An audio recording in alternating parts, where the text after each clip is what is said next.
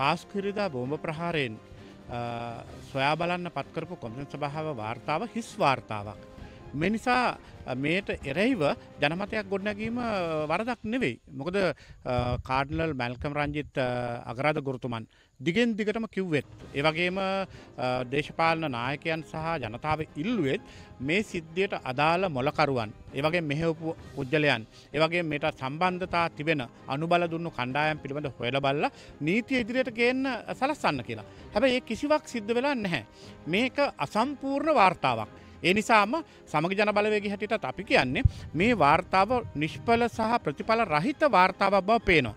මේක ආණ්ඩු පාර්ශවයම ප්‍රතික්ෂේප කරා මම දුටුවා නායකින් ගණනාවක්. එනිසා මැල්කම් රංජිත් කාඩනල් තුමන් මේ කියන කාරණාව නිවැරදි මං හිතනවා ඒ සඳහා විරෝධයක් දක්වන්න ලබන හත්වනිදා ඒ සංවිධානය කරන වැඩ පිළිවලට අප සහයෝගය තිබෙනවා. විශේෂයෙන්ම ඒ ඉල්ලන සාධාරණත්වය ලබා දෙන්න.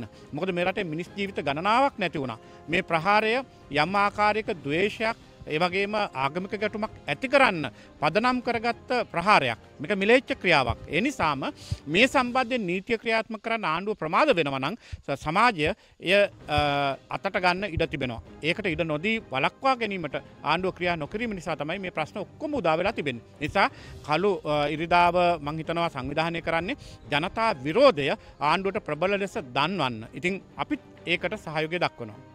ඇත්තරම අපි අදහස් කර ඒක නෙවෙයි. ජාත්‍යන්තර පරීක්ෂණයක් කියලා කිව්වේ මේ සිද්ධියේ යම් යම් සාක්ෂි සහ කරුණු ඉදිරිපත් වනා කොමිසන් සභාවට විශේෂම අපරාධ පරීක්ෂණ දෙපාර්මේන්තුවේ නිලධාරීන්. ඒවගේම විවිධ වූ මේ සම්බන්ධය විද්වතුන් සාක්ෂි දෙනකොට යම් යම් කාරණා සහ නම් සඳහන් කලා.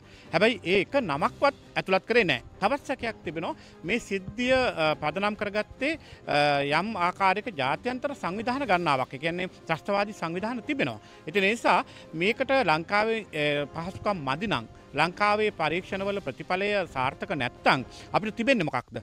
දක්ෂ ජාත්‍යන්තර පරීක්ෂණ කණ්ඩායමක් යොදෝන එක. එකයි අපි කිවේ ජාත්‍යන්තර පරීක්ෂණයක් ඕන. මොකද විදේශගතව සිටින ජාත්‍යන්තර සංවිධ ගරල්ලා ත්‍රස්තවාදී කණ්ඩායම් යම් ආකාරයකට මේකට සම්බන්ධතාව තිබෙනවනම් ඒ පිළිබඳව හොයල බලන්න අපිට තනියම් පුළුවන්කමක් නෑ ඒ නිසයි අපි කියන්නේ පාස්කරිතා බ්‍රෝම්භ ප්‍රහාරය සම්බන්ධයෙන් නියම සැකරුවන් හඳුනගන්න අනුබල දුන්නු කණ්ඩායම් හඳුනගන්න ජාත්‍යන්තර පරීක්ෂණයක් කරන්න කියලා කියන්න ඒකයි. ඒකට ආණ්ඩුව ඉඩ දෙන්න ආණ්ඩුව මැදිහත් වෙන්න. ඒක ජාත්‍යන්තර ඇගිලි ගැසීමක් නෙවෙයි.